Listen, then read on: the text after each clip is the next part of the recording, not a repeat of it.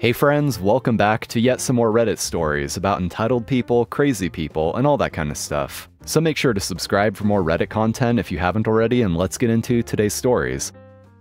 Security regulations you wrote apply to you too. This was my first security gig right out of the military. Good starter job for security work. It was access control at a medium-sized aircraft engine factory. A friend of mine worked HR there, but he also held the title as head of security, so he offered me a job and I accepted. One of the biggest rules were ID checks. Apparently, a few years prior, a couple of people had gotten in with photocopied IDs, so after that, we had to physically check that the ID was plastic. We did this by touching it. Now do access control enough and you start to memorize people. We didn't check those IDs by touching them because we knew them, and if they had been fired, we would have gotten a notice. Well, that angered the head of HR, so she set some new rules. She wasn't the head of security, but security fell under HR, so she kind of was. All IDs must be checked, no exceptions. No non-employee is allowed through the gate without a notice signed by her or the head of security, and has to be submitted 12 hours prior to their entry, like for people scheduled for interviews. Visitor badges assigned without prior approval can only be done for normal deliveries, like the post office or FedEx, Anyone who violates it will be reported by security to HR for a security violation. That was fine and dandy. We really didn't care. Everything went smooth for about a month until that one day. Here she comes to the gate, but she isn't driving. Her husband is. It is raining, and I mean flood level raining. I asked her husband for his ID and he says he didn't have one. She saw where this was going and tried to stop me. He was only there to take her in because it was raining and she didn't want to walk from her car to the building and ruin her outfit. That's when I threw the rules back to her. I didn't have a security notice for him, so I couldn't assign a badge and couldn't let him in. She tried the, but it's only a 100 yards, which again I reminded her of the rule she set down. She actually said, Well, I'm your boss. Technically, she wasn't. We are going in anyways which I replied again, her rule, that any breaches of policy must be reported as a security violation. So there she is, dressed to the nines, forced to walk, without a jacket, to the building a hundred yards in the rain to get to her office. Why didn't we lend her a security rain jacket, you ask? Because she said there wasn't enough money in the security budget to buy them. Later that day, she modified the rules that on drop offs, security has full discretion to allow someone entry for that purpose, we also got our rain jackets two weeks later, and she never bothered security again. Downstairs neighbor demands we walk normal, so we do, and she hates it. We've been living in this apartment for three years. It's cozy. The building is around 20 years old, and though the appliances and wall paint and carpets have been replaced, the floor has not. It's painfully thin. Every step we take creaks and groans, and it's annoying. Living on the third floor, we know it's gotta be even more so for whoever lives below us. So we've done our best to be mindful of their comfort and try not to make too much noise. We had a new downstairs neighbor move in a couple months ago, and she is not convinced that we are literally tiptoeing around our apartment. Every time I get home and close my door, she's banging on my floor with a broom or something. Every time I cross the living room, banging. Every time I vacuum, banging. Every time my dog chews on a bone, she bangs on the dang floor and it scares my poor dog. We've been living on eggshells trying to be courteous, but she's driving us mad with her insistent banging every time we take a step. I guess she had finally had enough, because she came upstairs to yell at us the other day. You are too loud. You need to be courteous and walk normal. You have neighbors, she yells. She almost looked like she was about to cry. It was disturbing. We felt bad. My husband tried to explain that, ma'am, we do our best to be quiet, but these floors are really old and they creak. We're not stomping or jumping or running. We're living, but we'll continue to be considerate. She was not impressed with his answer and continued to argue. Well, I lived on a first floor before and my other neighbors weren't loud like you. It's so loud and my job is so stressful and I want you to stop stomping. I don't want to be a mean person, but I really think you're too loud. So you know what we agreed to? To walk like normal people. Okay, okay, we'll walk normally, we said. This is exactly what we had been doing, nothing different. So she still bangs on the floor and gives us nasty looks.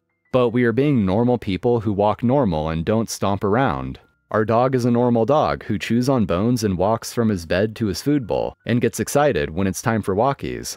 We are so normal. We'll be moving in the next month, so it's no skin off my back.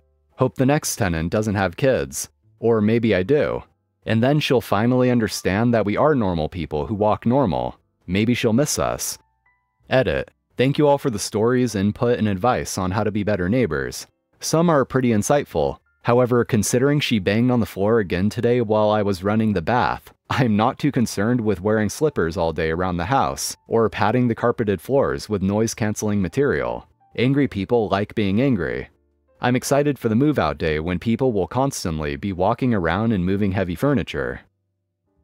I don't doubt that the floors are probably thin and it's probably easy to hear other people. It's unfortunate, but there's not much you can do about that.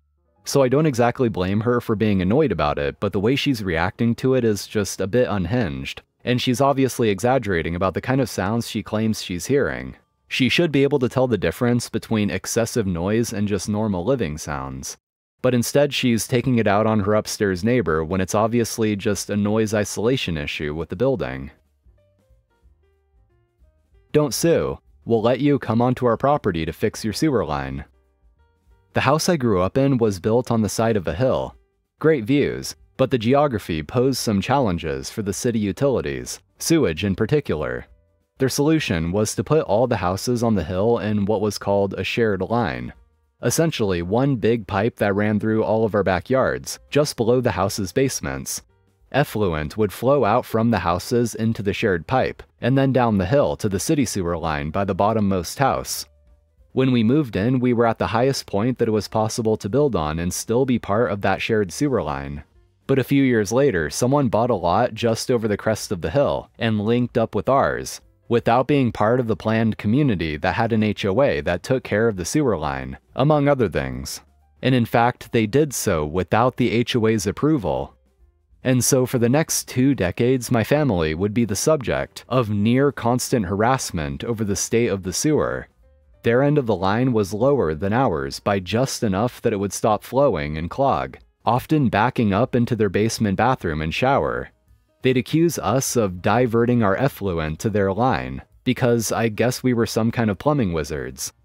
Now, the reason nobody built a house on that part of the hill during the original development was that the soil was unstable, something hydrology related. Sure enough, over the years, that house would occasionally separate from the hill and slide down a couple of inches. But our neighbors had connections in the code enforcement agency, so the place never got condemned like it should be. They just had to shore it up and reconnect all the utilities. The thing is, the further down the house moved, the steeper the negative incline was from their sewer connection to our junction box, making the clogs and backups even worse. At one point, it got so bad that their sewer barely flowed. Some days, it got completely clogged. Somehow, this was our fault. They spent the next year calling us every time they tried to flush a toilet and crap came out in their downstairs shower.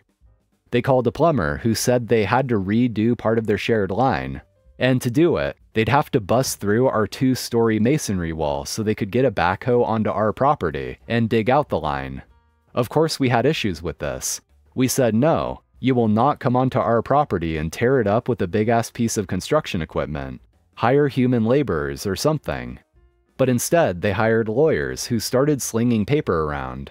According to them, we were in violation of state law that specifically gave an implied easement, granting a homeowner access through another's property to maintain their own. So we hired lawyers of our own, who said that we basically had a choice.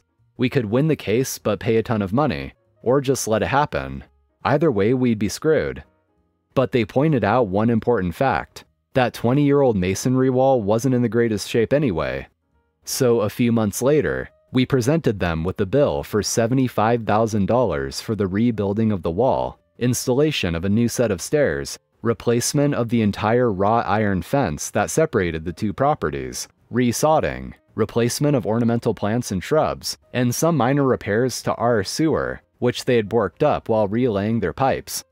I'm not a general contractor, but my guess is that they could have hired pick and shovel labor to dig out that pipe and replace it with a new one, for a fraction of that price. But no, They had to have a giant Caterpillar tread machine do it. They balked.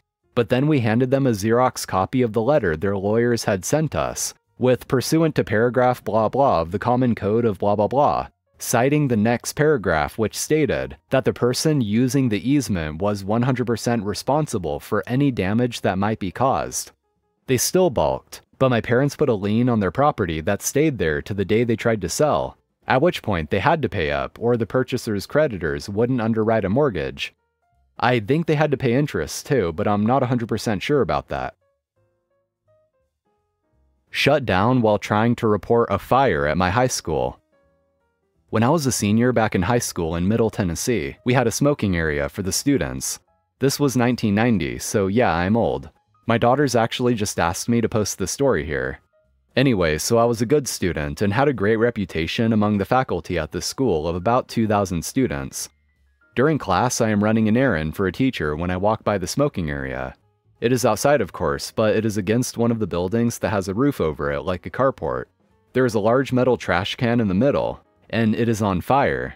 Not a rip roaring fire, but is on fire nonetheless. We have flames starting to work their way out of there and plenty of smoke.